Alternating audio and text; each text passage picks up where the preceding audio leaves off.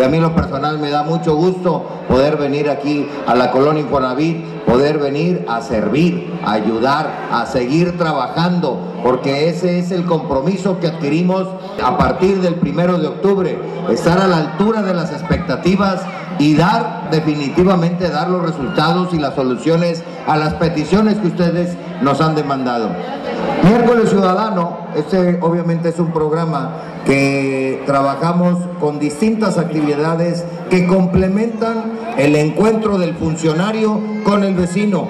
Buscamos la convivencia, pero aparte de la convivencia, traer beneficios de manera gratuita al alcance de los vecinos de los que habitan este importante sector. También aprovecho para poderles compartir lo que hemos estado haciendo desde la obra pública. Pavimentación con carpeta asfáltica en Lago del Norte entre Avenida Tecnológico y Privada Laguna del Norte, con una inversión más de un millón cincuenta mil pesos. Y por otro lado, la construcción de áreas verdes en privada B1, edificio Reynosa en Ayuntamiento y Luis Echeverría con un monto y una inversión de 840 mil pesos.